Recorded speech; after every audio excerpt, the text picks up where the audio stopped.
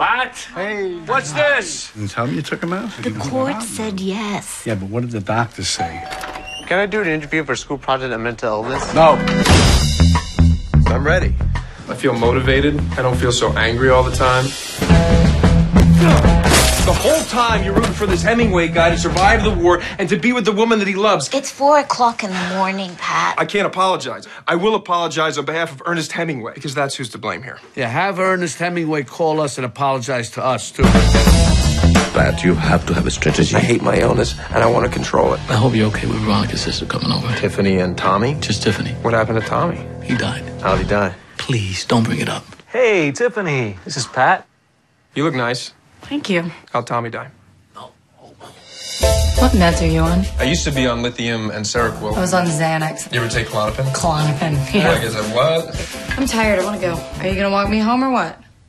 You have poor social skills. You have a problem. I have a problem. Mm-hmm. You say more inappropriate things than appropriate things. Doc, she's crazy. Oh, what the hell? She knew where I was. She followed me. Why don't you run somewhere else? Calm down, crazy. Maybe she just needs a friend.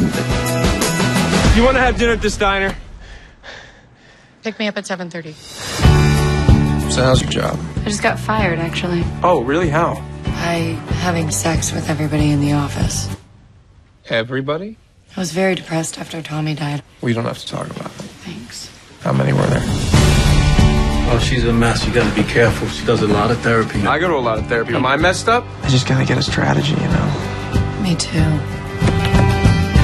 So there's this dance thing. I can only do it if I have a partner. Oh, I'm not gonna dance with you. So is this the girl you wrote about? You wrote about me? She's fine. She is my friend with an F. A capital F. She's fine. For friend. What are you so up about? I'm happy.